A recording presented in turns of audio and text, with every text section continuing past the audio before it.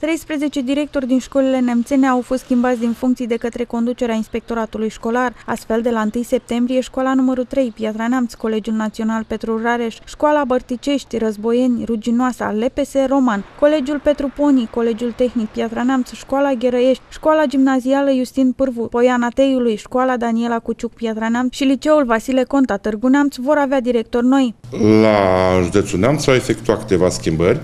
Parte dintre ele au fost determinate de faptul că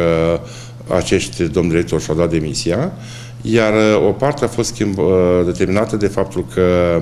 au existat uh, inadvertențe în traiectul comunicării dintre inspectorat,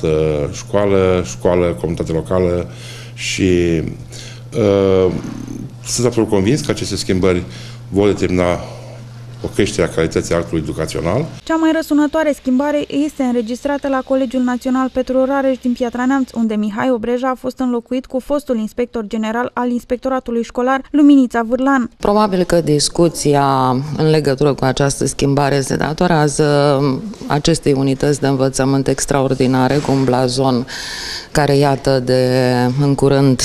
va împlini 145 de ani de existență și blazonul, sigur, în timp uh, și l-a confirmat.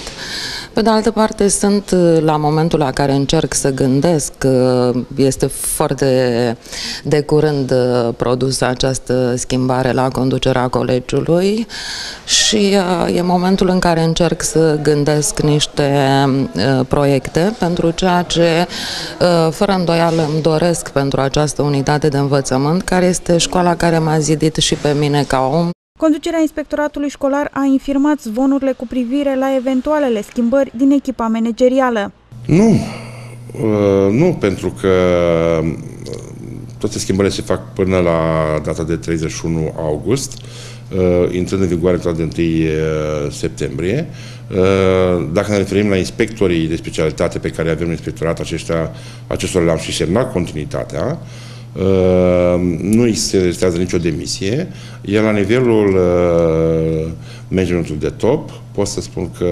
nu avem absolut nicio informație despre o schimbare a generalului sau celor doi ajuns.